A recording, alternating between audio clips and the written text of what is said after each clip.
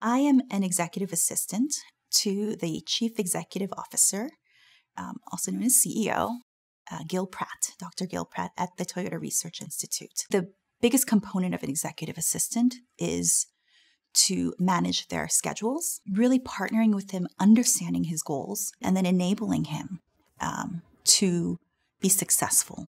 I encourage you to put yourself in a situation where you're in charge because in this role, you will lead people. In this role, you will need to be very good at getting people to work together as a team. Um, so be the team captain, get on student council, um, start a club of your interest because these are tools that you will have um, for a lifetime. Increase your vulnerability, increase your comfort with authenticity. Be your whole self and your best self